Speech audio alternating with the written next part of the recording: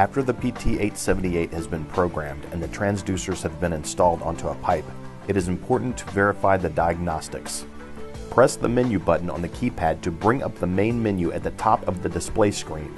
This also brings up options at the bottom of the display screen. There is a diagnostics selection on the bottom of the display screen. Press the F2 button to bring up one view of all the diagnostics listed on the PT878 display screen.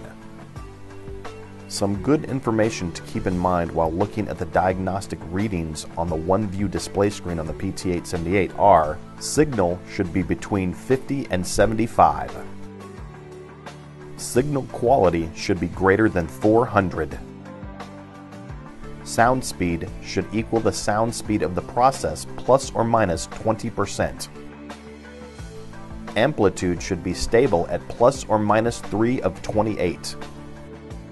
If the meter is not in error and all diagnostics are within these parameters, then you can proceed to take a measurement. To exit out of the OneView Diagnostics display screen, press the F3 button on the keypad which corresponds to the OK selection on the bottom of the display screen. This will take you back to the main menu on the top of the display screen. Press the Escape button on the keypad to exit out of the main menu at the top of the display screen.